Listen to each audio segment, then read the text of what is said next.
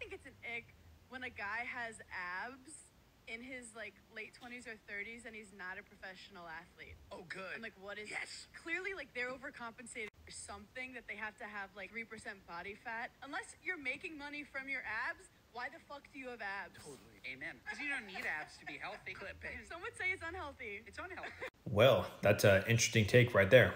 So yes, being an extremely shredded bodybuilder is definitely not healthy, but that's why they only do it for a temporary amount of time. They're not shredded year round. But let's talk about something else, you know, in a similar category. So instead of having world hunger, you know, now we have world obesity. Let's take a look at the obesity rates all around the world. Here we go. Over there. Looking pretty bad. And I know I can't be alone on this, but I can't stand the word ick. Like my ick is when people say ick, if that even makes sense.